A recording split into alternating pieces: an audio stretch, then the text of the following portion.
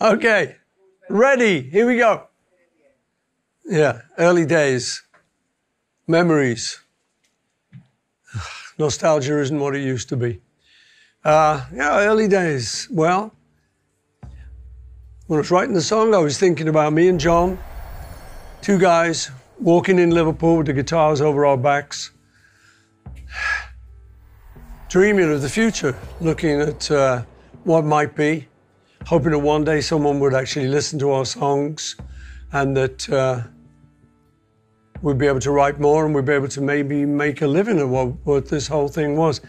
Um, I don't think we really thought it would come true, but you know what? It did.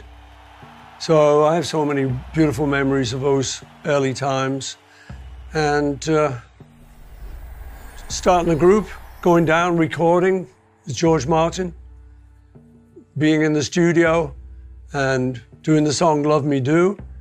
And George Martin suddenly switches it. He's got, John sings it, Love Me Do, and then he plays the harmonica. Good Love Me Do, whap. George wants the harmonica to come in exactly, Love Me, whap. So he says, Paul, will you sing Love Me Do? So I've suddenly, nervous as hell, I've got to then suddenly sing this bit of the song I've never sung before. So I go, yeah, okay. I'm not going to say no to the producer. I go, love me do, and John goes, why, why? So many beautiful moments playing in the studio with the guys, making all our records, going to America. Had a mystical experience once with uh, at a party with Bob Dylan, and I felt like I'm walking around and I'm kind of going up a spiral. We're actually just in a hotel room. I felt like I was sort of going around and gradually going up a spiral walkway. And I get to the top and I go, I've got it. And I, tell you, I say to our roadie, Mal, I said, Mal, give me a bit of paper. Has anyone got a bit of paper and a pencil? Nobody could find one. Mal eventually found one. I said, I've got to write this down. And you keep this. So I wrote something down. I said, now you keep this and show it me in the morning. Don't lose it. This is the meaning. This is the, this is the meaning of life. In the morning, he shows me it. It said, there are seven levels. Yeah, well. So, oh, these kind of things happened. We did tours. We met famous people. We did the Ed Sullivan Show in front of 73 million people. These are all early days. Going further back into Liverpool, just as kids, going to school. This huge, big school, a thousand boys that I went to when I was 11 years old. It's like something out of a Charles Dickens novel.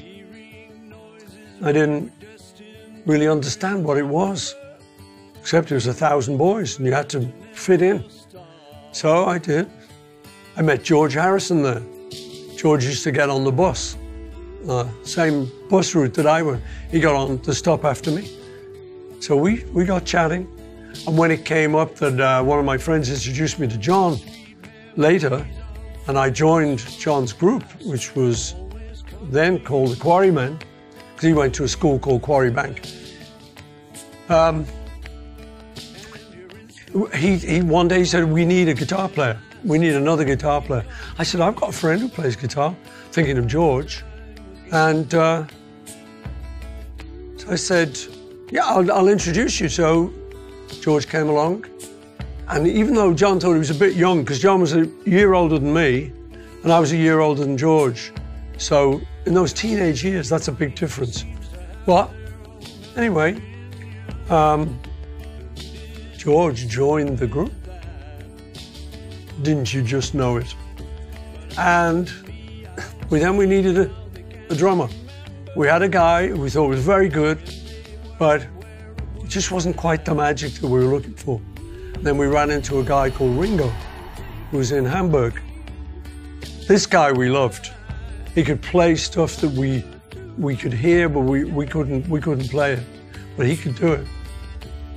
That, that was it.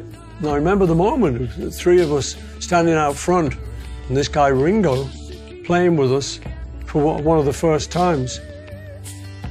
And I remember looking to my left, seeing John, to my right, seeing George. And just the look between us was, this is it. We are the Beatles.